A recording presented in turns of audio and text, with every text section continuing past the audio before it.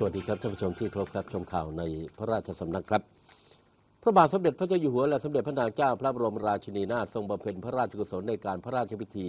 เฉลิมพระชนมพรรษาสมเด็จพระนางเจ้าพระบรมราชินีนาถ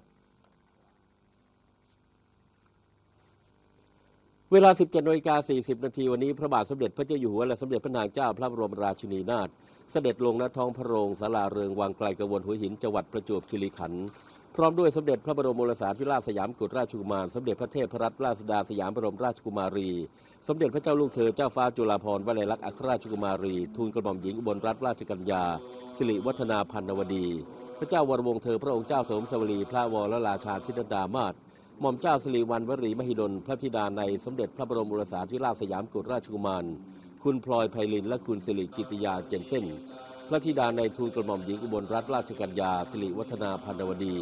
ทรงบำเพ็ญพระราชกุศลในการพระราชพิธีเฉลิมพระชนมพรรษา สมเด็จพระนางเจ้าพระบรมราชินีนาถซึ่งหลังจากทรงจุดธูปเทียนเครื่องนมัสการบูชาพระรัตนตรัยแล้ว พระสงฆ์15 รูปเจริญพระพุทธมนต์ระหว่างนั้นพระบาทสมเด็จพระเจ้าอยู่หัวทรงจุดเทียนที่ฝาครอบพระกลิ่ง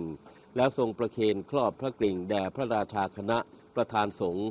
เมื่อพระสงฆ์เจริญพระพุทธมนต์จบพระบาทสมเด็จพระเจ้าอยู่หัวและสมเด็จพระนางเจ้าพระบรมราชินีนาถทรงกล่าวคำถวายสังฆทาน ทรงประเคนผ้าไตร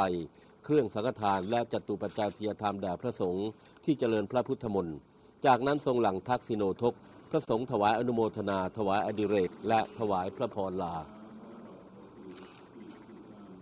สมเด็จพระเทพรัตนราชสุดาสยาม